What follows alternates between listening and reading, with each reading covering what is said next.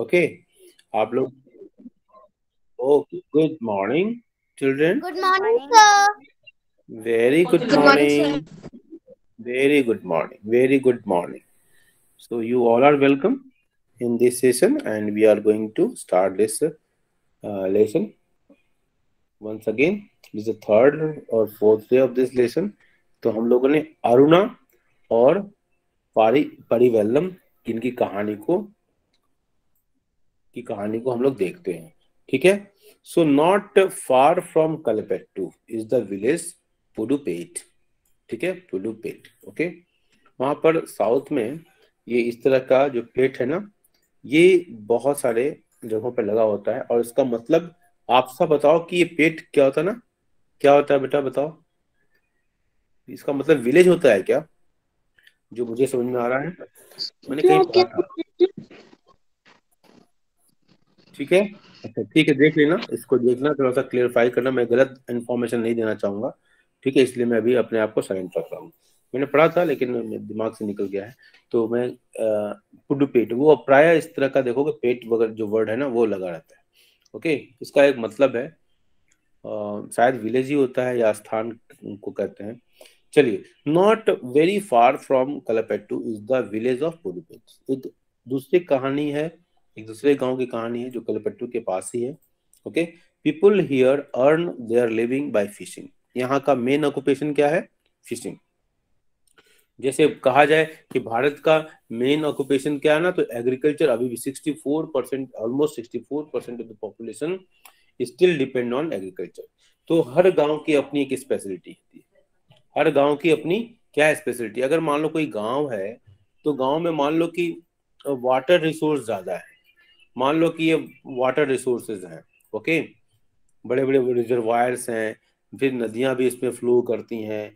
तो आप समझ लो कि इसमें अधिकतर भागों में अगर पानी ही पानी है और कुछ यहाँ पर जो घर हैं तो इनके लिए मेन ऑक्यूपेशन क्या बचा?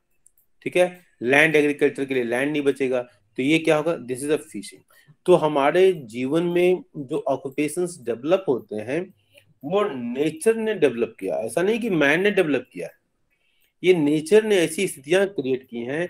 Nature has developed such circumstances such situation where you are force to of the particular kind of profession अब आप आंध्र प्रदेश में, जिसे मैंने इससे पहले मैंने डिस्कस किया था ना, इसमें मनीषा भी थी, मैंने कहा था कि राजस्थान में कभी फिशिंग देखा है आपने? है ना? लेकिन अगर most of the people if you see the southern areas अगर हम भारत का मैप बनाए ऐसे ऐसे मैप बना दें, ठीक है?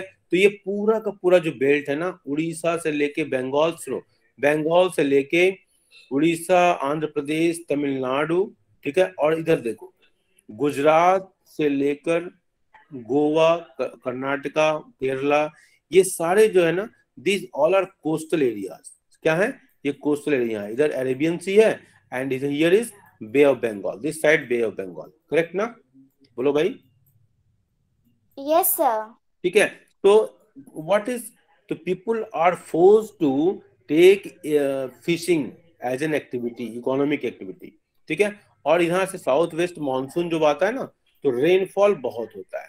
इन सब एरिया में रेनफॉल भी हो जाता है। तो राइस का कल्टीवेशन तो आप देखोगे जो भी उड़ीसा के जो लोग हैं ना नोटिस करना, उड़ीसा के लोग जो होंगे, बंगाल के लोग होंगे, आंध्रा के लोग जो होंगे तो उनका राइस और फ़िश जो ये ज़रूर उनके फ़ूड हैबिट्स में होगा।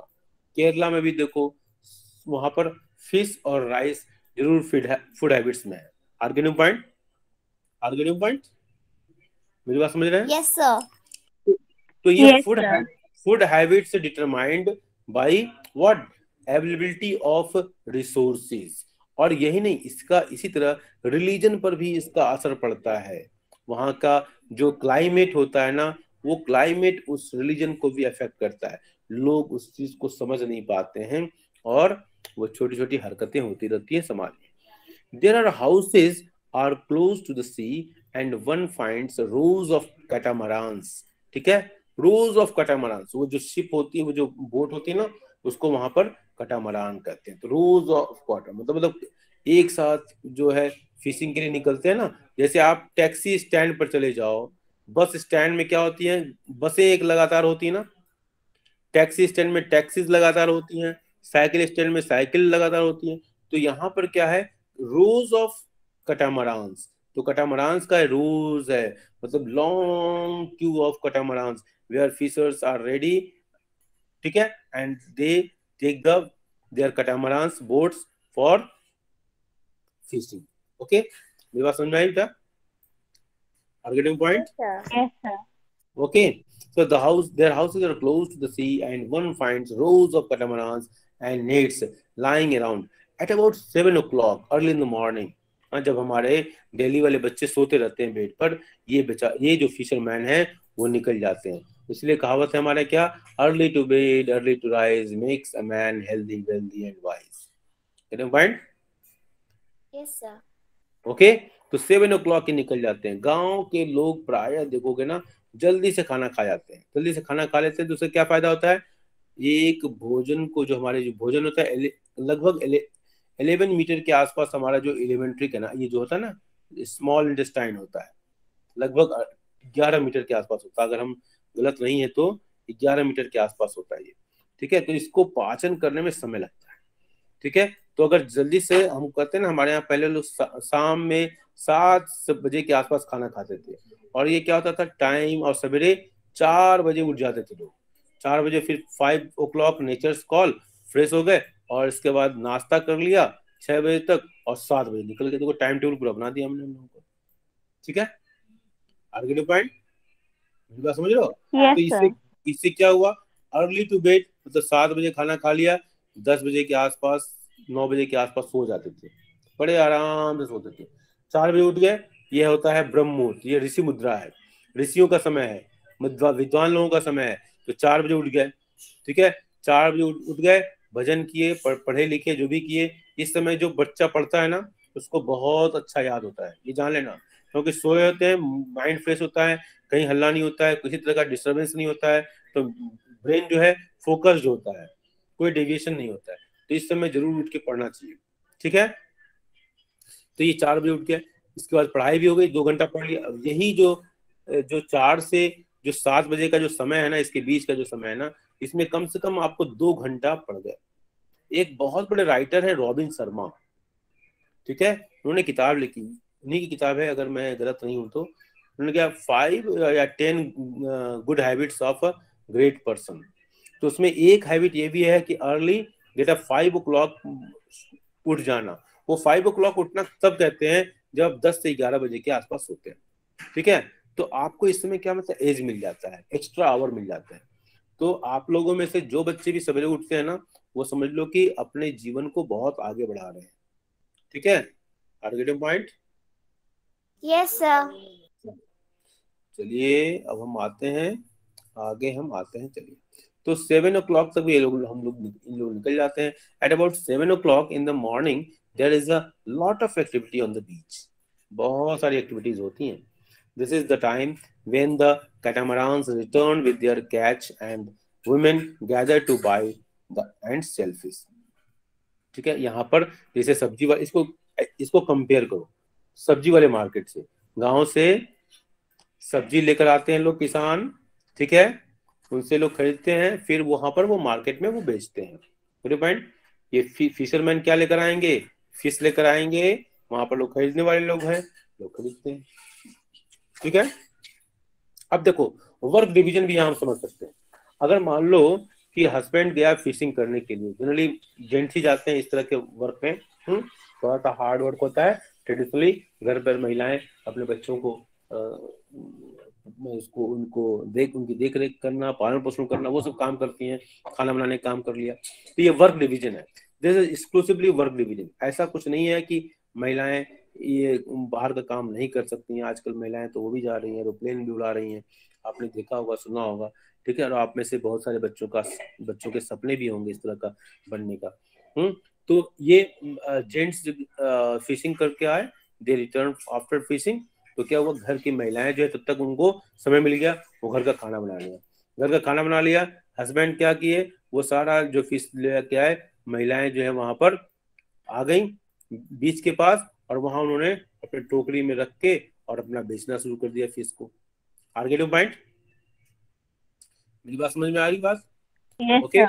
और तब तक ये आप ये आए कहाँ? घर पर आ गए अपना खाना खा लिया। फिर यहाँ पर वो खाना खाने के बाद फिर वो आ गए बची हुई फ़िश को मार्केट लेके चले आते हैं। ठीक है? जो सी बीच पर मिला कुछ लोग होते हैं ना कि सी बीच पे चले जाएँगे सस्ती मिल जाएगी। कुछ लोग होते हैं सब्ज़ी मंडी चले जाते हैं वो ठेले पे जो सब्ज़ी बेचते हैं उनसे नहीं लेते हैं क्योंकि सब्ज़ी मंडी में सब्ज़ी सस्ती मिल जाएगी। आर गेटिंग पॉइंट बोलो भाई। Yes sir so this is called cooperation यहाँ हम एक वैल्यू सीख सकते हैं कि कैसे हस्बैंड और वाइफ के बीच में कॉपरेशन है और जिसकी वजह से उनका पारिवारिक जीवन सुखमय होता है।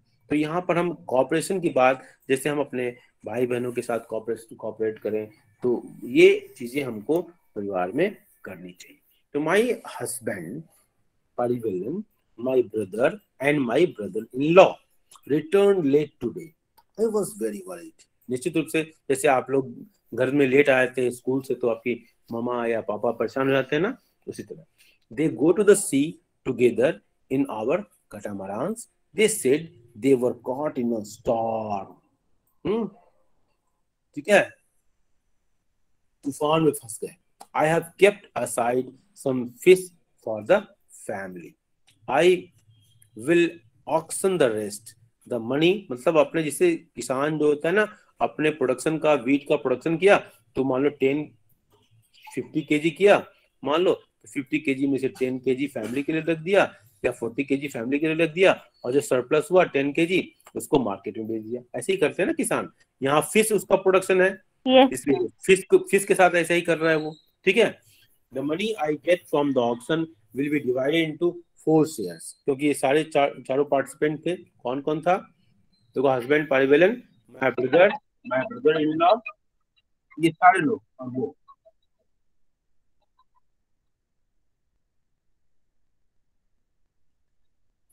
ओके ओके सर कॉल आ रहा था ना इसलिए।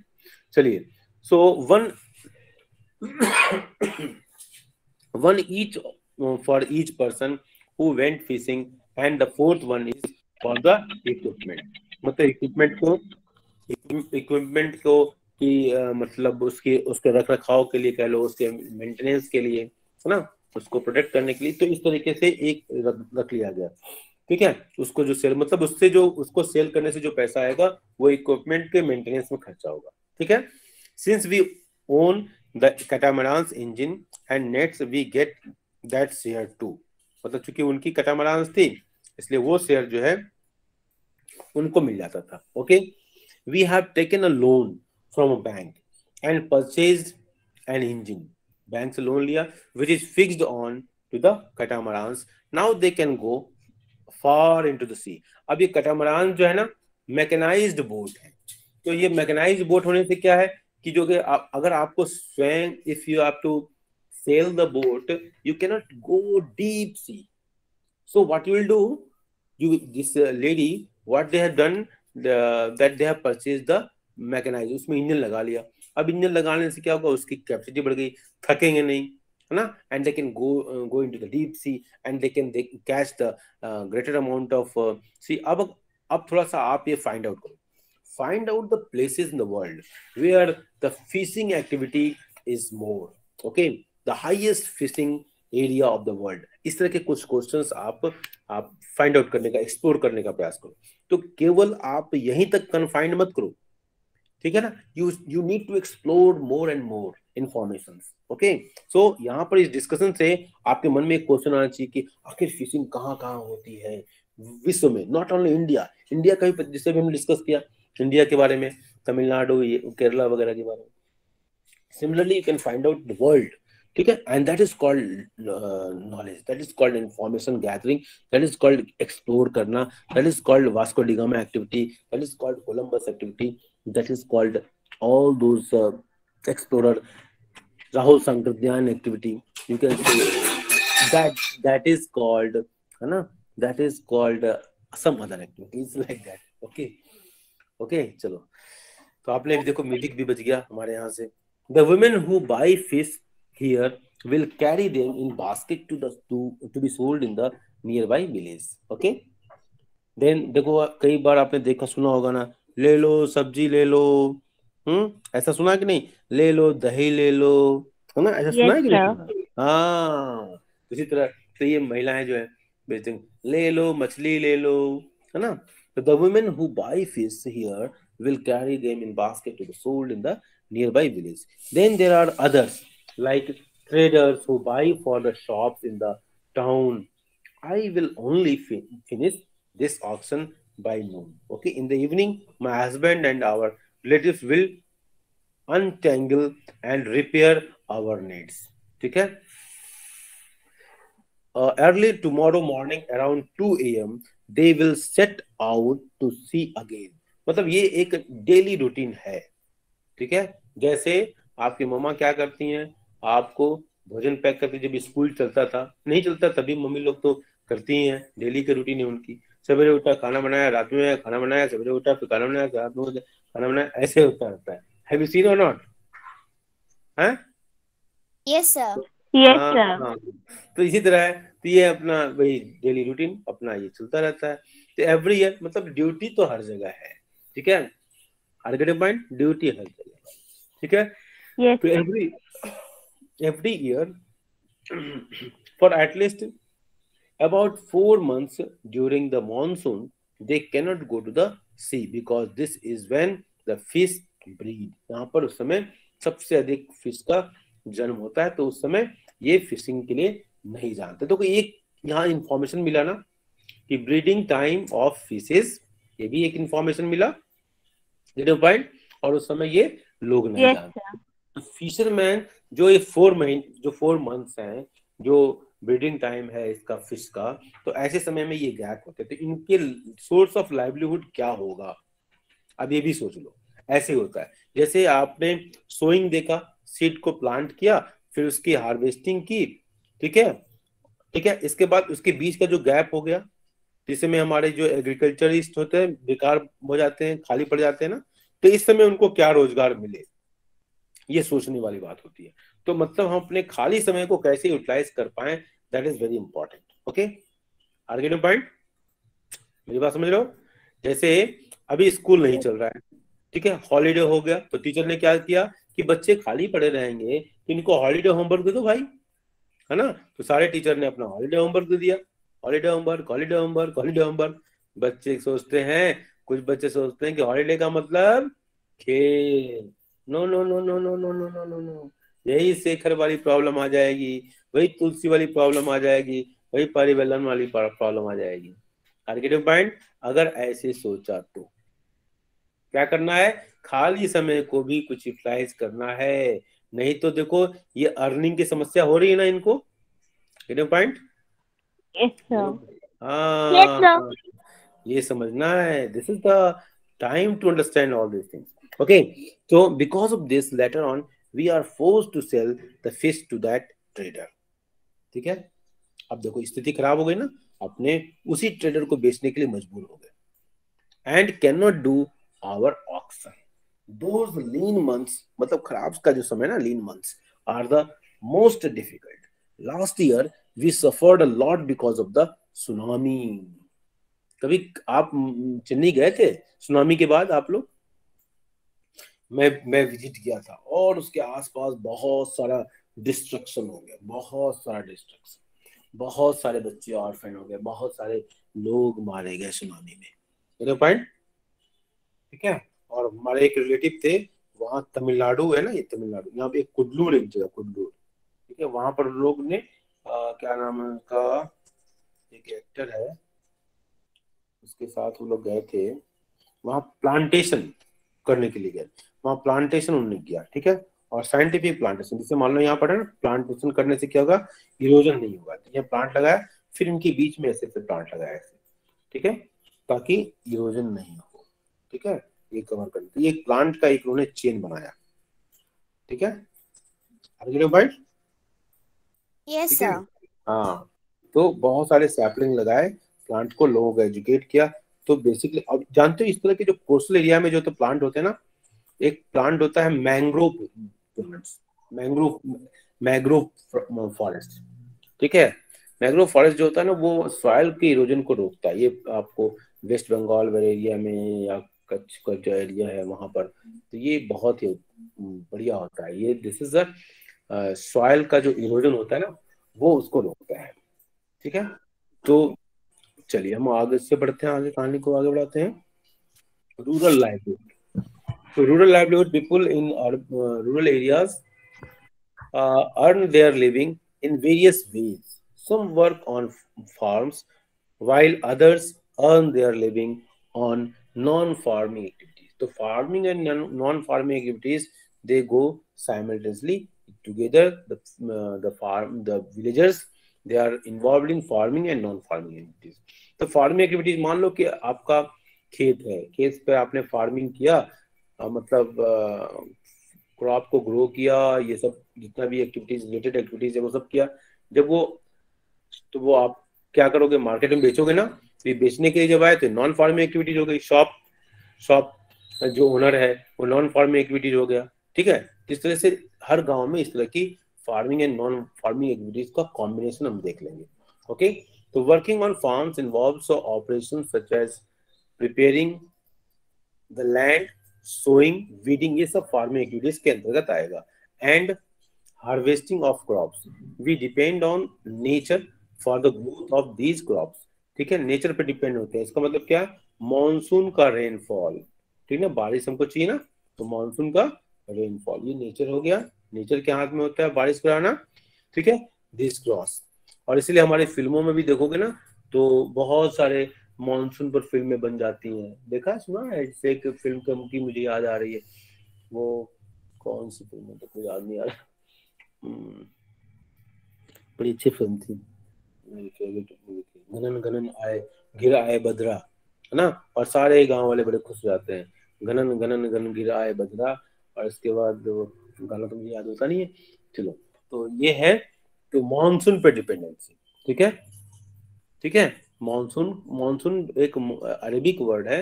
मतलब इसमें होता है रिवर्सल ऑफ़ विंड अगर आप ज्योग्राफी में पढ़ोगे नाइन्थ टेंथ में तो क्या होता है ना, पृथ्वी का जो मूवमेंट होता है ना, ये जो मूवमेंट है तो जब ये अर्थ ये इक्वेटर है, मान लो ज़ीरो डिग्री इक्वेटर है तो ये थर्टी डिग्री नॉर्थ और थर्टी डिग्री साउथ ठीक है ना? यहाँ से एक wind throughout the wind इसको ट्रेड विंड कहते हैं। तो ये ब्लो करती रहती है, लेकिन जब ये इक्वेटर को क्रॉस करती है ना तो उसका डायरेक्शन चेंज हो जाता है, ठीक है? और यही मानसून है, इसको कहते हैं रिवर्सल ऑफ़ विंड इसी को मानसून कहते हैं अरेबिक वर्ड है तो रिवर्सल ऑफ़ विंड और वही जो है, जब भारत में इंटर करता है ना देखो ऐसे ऐसे बनाता है उसको। थोड़ा सा जोग्राफी भी देख लो यहाँ पर। तो ये विंड ऐसे ब्लो करती है जब when it crosses the equator it turns it deflect it deflect like this So यहाँ पर India है, here is India. So here is the monsoon, and that's why the first shower of monsoon you will see in the Kerala, क्योंकि Kerala sea coast के सबसे नज़दीक है. Okay are you getting It is called south west monsoon. It is called south west monsoon. ठीक है, यहाँ से monsoon आता है, but here no coastal area, तो इसलिए बांग्लादेश में बारिश होती है और फिर यहाँ से ये इंटर इधर करता है। एंड हियर इंडिया में ऐसे इंटर करता है फिर इधर वेस्टर्न घाट्स है। ठीक है? इधर अरावली आता है। अरावली देखो राजस्थान में बारिश क्यों नहीं होती है? अरावली देखो ये मैं रब कर रहा हूँ दिस इज़ अरावली तो ये अरावली है ना ऐसे है। अगर ये अरावली ऐसे नहीं होके अगर ऐसे होता है देखो जहाँ से देखो तो राजस्थान भी डेजर्ट शायद नहीं होता। ठीक है ना? अगर ऐसे होता तो क्या होता? यहाँ पर ये टकराता, ये साउथ वेस्ट मानसून आता और यहाँ बारिश होता। अभी चूँकि ऐसे ना हो, ऐसे नहीं है, ये कैसे है? One second I am you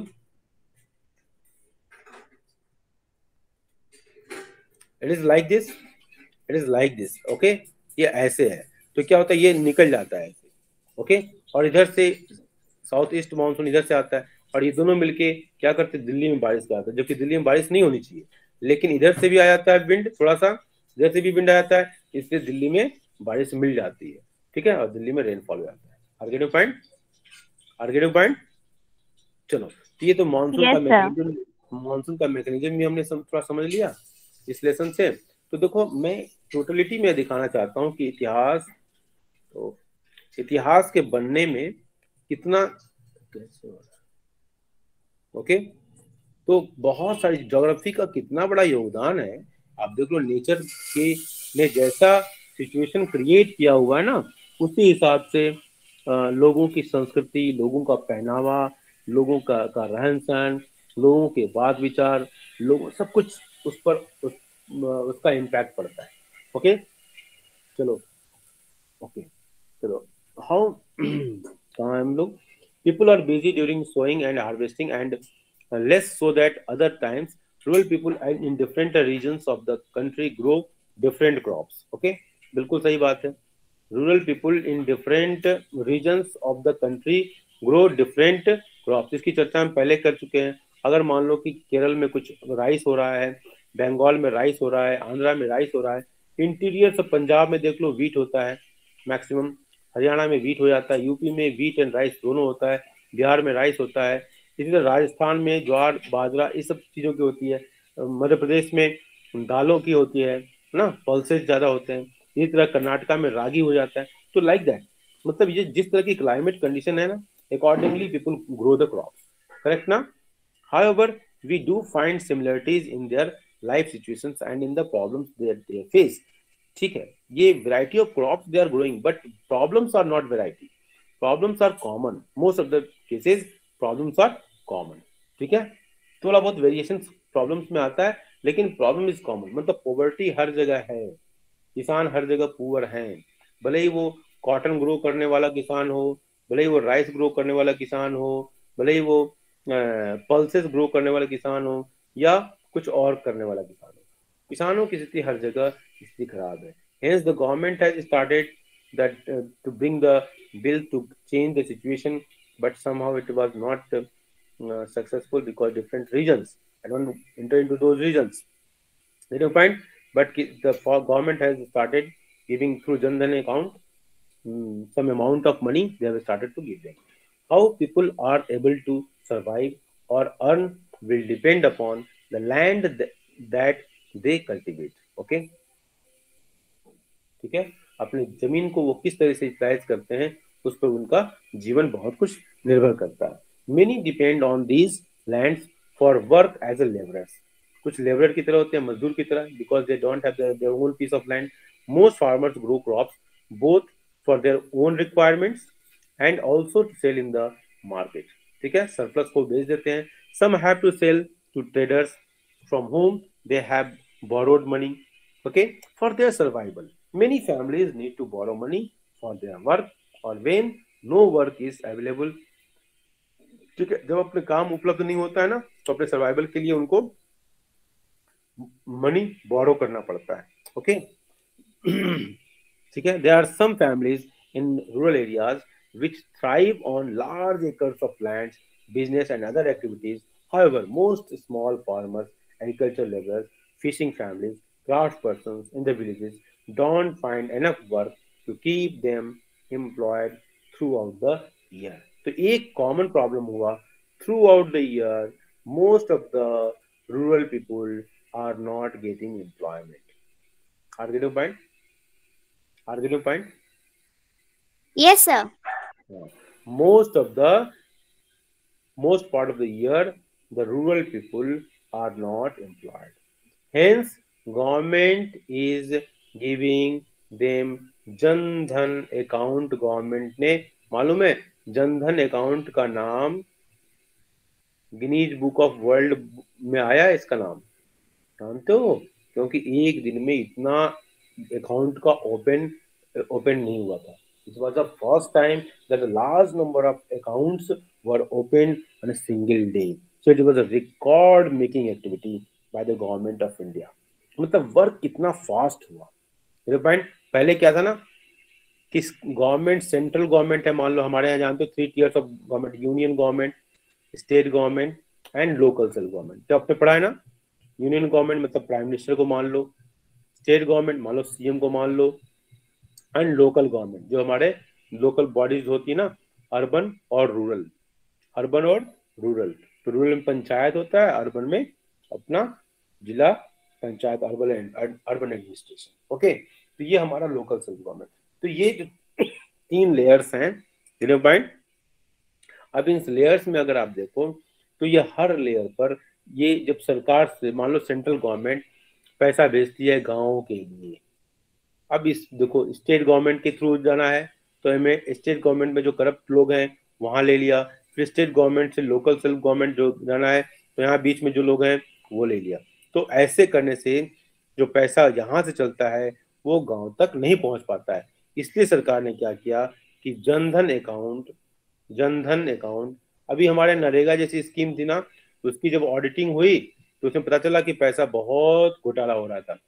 सरकार बीच में सोची थी इसको बंद करने के लिए, लेकिन ये क्योंकि किसानों तक जाना था, इसलिए इसको किया, लेकिन इस पर सरकार ने इसको रोक लगाने के लिए जनधन जो है, योजना, जनधन योजना चलाई, जिसमें सरकार क्या करेगी? ऐसे सभी लोगों को, गरीब लोगों को अकाउंट बैंक में खुलेगा और उस अकाउंट में डायरेक्ट पैसा जाएगा। मतलब जो पैसा, देखो ध्यान से समझो इसको। इस मैकेनिज्म को ध्यान से समझो। जो पैसा यहाँ से यहाँ होते हुए अगर चेंज कर रहा था, नहीं हो पाया।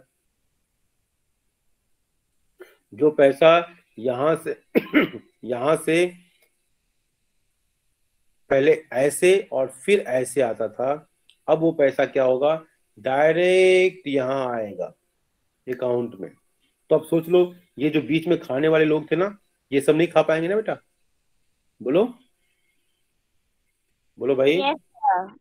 हाँ तो ये जनधन योजना का फ़ायदा था। इसको हम इकोनॉमिक्स की भाषा में कहते हैं लीकेजेस ऑफ़ इकोनॉमी क्या कहते हैं? लीकेजेस ऑफ़ इकोनॉमी मतलब आप टंकी में बाल्टी में पानी भर रहे हो और नीचे से छेद हो। तो क्या होगा? पानी भरेगा ही नहीं। इसी तरह गरीब को पैसा ठीक से मिलता ही नहीं है तो उसकी गरीबी दूर कैसे होगी? आर्गेटिव पॉइंट इसी चीज़ को रोकने के लिए सरकार ने जनधन योजना शुरू किया। आर्गेटिव पॉइंट ठीक है? अब ये सारे क्वेश्चन हैं आप ये सारे क्वेश्चन कर लोगे? आर्गेटिव पॉइंट कर लोगे? यस सर हम्म, इसको फिलअप कर लेना ठीक है? अच्छा ये बताओ कि आप लोग जो नया जो क्लासरूम क्लासरूम लाइव इसको यूज़ कर रहे हो? नो सर नो सर अभी नहीं यूज़ कर रहे हो? आपको ओटीपी पासवर्ड वगैरह कुछ मिल गया है? No sir yes yes sir मिल गया है? तो अभी हम लोग यूज़ नहीं कर रहे सर लेकिन प्राइमरी सेक्शन यूज़ कर रही है। माय गॉड उनको भी यूज़ करना है भाई। चलो ठीक है जल्दी से हम लोग इसको यूज़ करेंगे। तो मेरी बात आज की क्लास में आपको सब कुछ समझ में आ गया ना बेटा? कोई दिक्कत तो नहीं हुई ना? यस सर हाँ तो आप लोग देखो ये सारी बातें जो है ना किताबों में जो लिखा हुआ है वो वही है जो आप अपने गाँव जाते हो वहाँ अनुभव करते हो उसी को। हम अब इतना सारा बोल इसलिए पाते हैं बेटा क्योंकि हम जो अभी जैसे बोल रहे हैं ना तो हम अपने गाँव में भी यात्रा कर रहे हैं। कभी हमने जब कभी केरल में गया तो केरल की भी यात्रा को मैंने उसमें इंक्लूड कर लिया। कभी बिहार है बिहार में रहे तो बिहार की यात्राओं को इंक्लूड कर लिया कर्नाटक कर्नाटका में रहे कर्नाटका का सीन इंक्लूड कर लिया उड़ीसा में रहे तो उड़ीसा का सीन इंक्लूड कर लिया आंध्रा में रहे तो आंध्रा का सीन इंक्लूड कर लिया। ये सारी चीज़ें मिल जाती है अनुभव। मेरे पॉइंट मेरी बात समझ लो इसलिए मैं आप लोगों को कहता हूँ कि जीवन को जीवन बहुत बहुत बहुमूल्य बहुत बहुमूल्य है और मनुष्य का जो जीवन मिला है ना उस जीवन का भरपूर उपयोग करें। भरपूर उपयोग करें। पॉइंट और जीवन को ऐसे जिए जैसे हमको ज़्यादा दिन रहना ही नहीं है। मतलब सब कुछ कर डालने का प्रयास कर। आर गेट पॉइंट ठीक है? Thank you thank you have a nice day